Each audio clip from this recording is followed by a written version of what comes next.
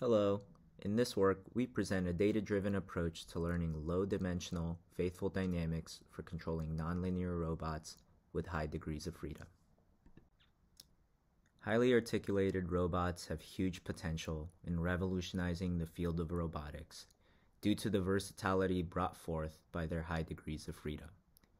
Unfortunately, modeling and control of these robots remains challenging since they are infinite dimensional in nature and accurate models of them typically result in intractably high dimensional systems. The question is, how do we come up with low dimensional surrogates that are tractable for online computation but accurate enough for closed loop control? Several approaches have been proposed in literature to address these challenges, such as projection and learning based methods. In projection based methods, one seeks to find a subspace that approximates the dominant behaviors of the system and to project the high dimensional governing equations down to that subspace as shown in the left figure. The equation free approaches attempt to learn the dynamics of the system from observed state transitions. Popular approaches include learning finite dimensional approximations of the Koopman operator or learning the dynamics of the system using a neural network. Common drawbacks with these approaches is that most are unable to tractably bridge the gap between having accurate but low dimensional models, and they generally do not preserve structure and the dynamics, resulting in models that do not generalize to tasks outside their training set. In this work, we leverage recent results in invariant manifold theory to find low dimensional models which faithfully capture the physics of our system.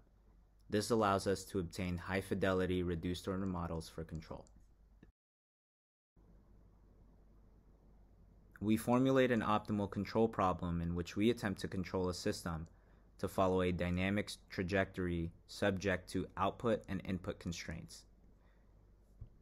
We stress that solving this optimal control problem is intractable due to the extreme high dimensionality of the dynamics which can range from tens of thousands to millions of states.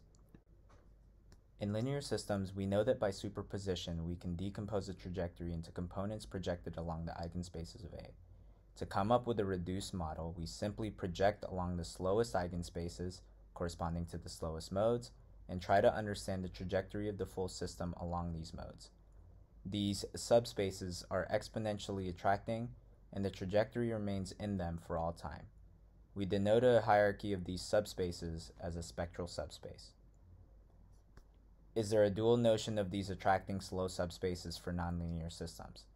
Well, under non-resonance conditions on A, it turns out that there exists attracting slow manifolds tangent to a spectral subspace, which nonlinearly extends its invariance. The unique smoothest manifold attached to a spectral subspace is known as a spectral submanifold.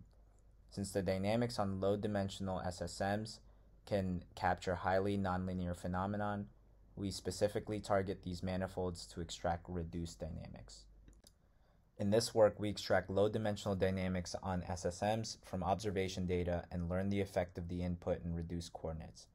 While the controlled trajectories are no longer invariant on the manifold, we demonstrate that the predictive power of SSM reduced models coupled with an MPC framework results in state-of-the-art performance on a high-dimensional system.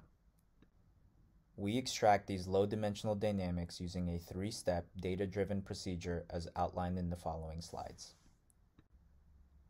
In step 1, we collect trajectories of the robot as it decays towards its equilibrium point. Notice that the robot exhibits an initial transient onto the manifold. Having identified this transient, we truncate it out of the dataset to ensure that the training trajectories are as close as possible to the invariant manifold. Next, we conduct principal component analysis to determine the basis of the spectral subspace to which the SSM is tangent. Indeed, for weak nonlinearities, PCA is a reliable approximation of the spectral subspace. Using the properties of the SSM, we can formulate a regression procedure to find the parametrization of the manifold mappings in the reduced dynamics. We seek a pair of maps that go from the reduced to observed coordinates and vice versa, and by the smoothness of the SSM, we can approximate the SSM parametrization by Taylor expansion.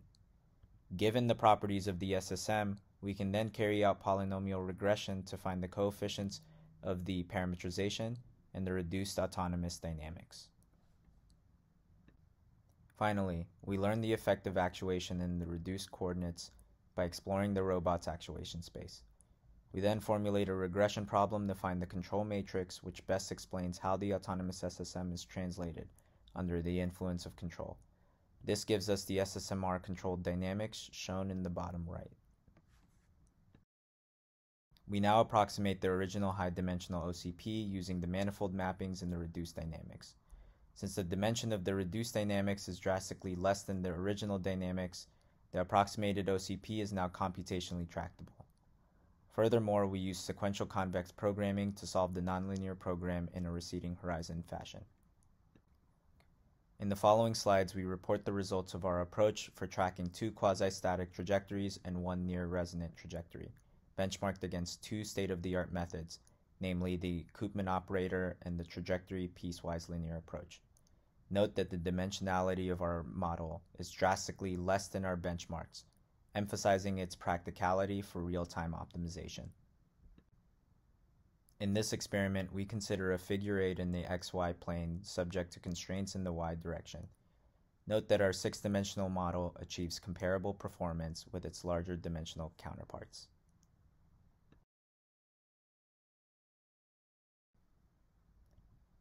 We observe similar relative tracking performance when considering a quasi-static circle in the yz plane. Note that for this trajectory, deviations in the x direction are penalized.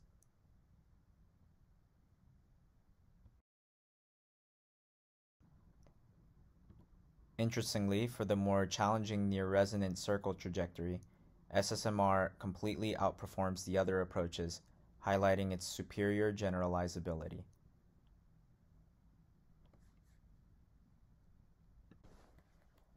Furthermore, when we remove the penalty on deviations along the x-axis, we find that our SSMR-based model is the only one that results in a control strategy that resonates with the dominant mode. Thus, not only does SSMR outperform the state of the art in terms of generalizability, it also preserves important structure in the dynamics which can then be exploited later by the controller. In conclusion, we presented a new approach for learning low-dimensional control dynamics on SSMs for high-dimensional robots. While fully data driven, we incorporate inductive bias in our learning procedure by targeting the dynamics on these generic structures. It turns out that the inductive biases imposed by SSMs are highly useful for control, since they offer low dimensionality, generalizability, and exploitable structure for control. This allows us to overcome common drawbacks associated with data driven approaches, allowing SSMR to outperform the state of the art. Our code is open source and is freely available on GitHub.